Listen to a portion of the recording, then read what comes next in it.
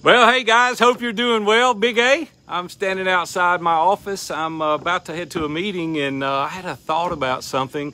I wanted to share with you an interesting conversation I had a couple of months ago with a guy. Uh, we were talking about different things that we could do in life and how it could be an encouragement to other people. And uh, I said, you know, I noticed that you really don't really encourage other people. Like you're a great guy, but you really don't encourage other people. And he said, you know, it's just not my nature. It's just not the way I'm bent.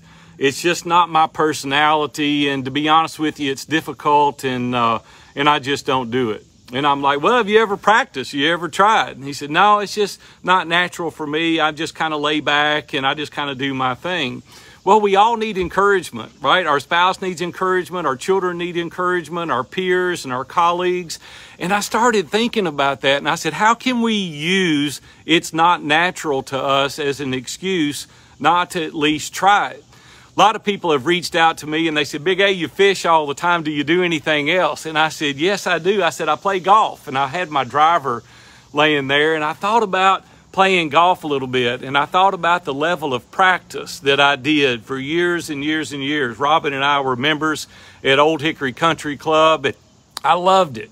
And every afternoon on my way home, I would go by there and Joey was the pro there and I would pay him for lessons and I would go out on the range. And when I first started taking lessons, he said, okay, you stand there and you lace the grip with your inner finger, your little finger and your index finger, and you point the V of your right hand to your chest and, and you point your left foot out and you put the ball at your heel location. He said, and you tuck your right elbow in and you pull the club back, you know, you, you push it way back and you get the club face parallel with the ground. And then you swing the club and keep your left arm straight. And at impact, you rotate your hands. And then when you follow through, you finish high and you come all the way back around. I said, Are you kidding me? I got to do that to hit a golf ball? And he said, Yes, if you want to hit it right, that's what you've got to do. So every afternoon for years, I would go by a Hickory Country Club. I would get a bucket of balls. I would hit those balls. I would hit probably 100, 150 balls.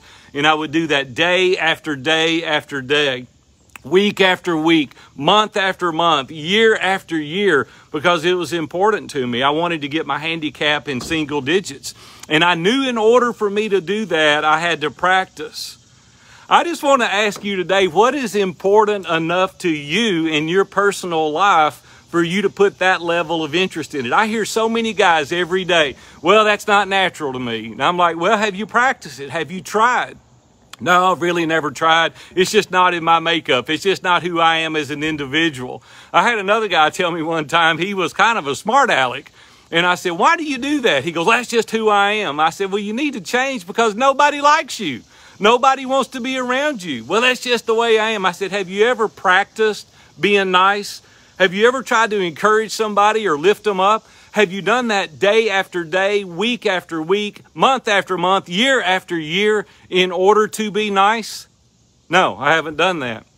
I said, You know, the reason you don't care about people as much as you should now, I don't mean this to sound harsh this morning, but a lot of you out there are using the excuse, it's just the way I am.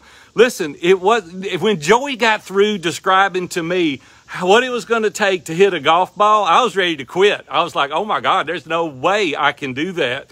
But over time, that muscle memory, right? That muscle memory came to me. And listen, I just want to say, if you're playing in a golf scramble, you want me on your team because I can hit the golf ball a long way. Now, if you need me to putt, forget it. You know why I'm no good at putting? I didn't practice. I suck at putting, but I can hit the ball a long, long way with the driver because I practiced every week, every month, every year in order to be good. It was important to me. I wanted to learn how to play. It's the same way we do business. There's so many things in business today that I originally sucked at, and I'm not all that great at it now, but it's not that I don't keep trying. Every single day, every single week, every single month, right? We got to put the effort in it. A lot of people want the success, but they don't want to put in the work. Listen, if you want to get good at something, you've got to do it consistently each and every day. You've got to put your heart and soul in it. You've got to go to the range and hit hundreds of balls, metaphorically speaking, in order to be good. Don't be lazy.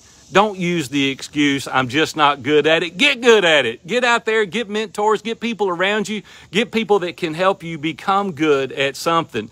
Don't keep using the excuse, it's just not the way I am. You can be better, you can do better, put in the work, and go crush it. Love you guys. We'll see you.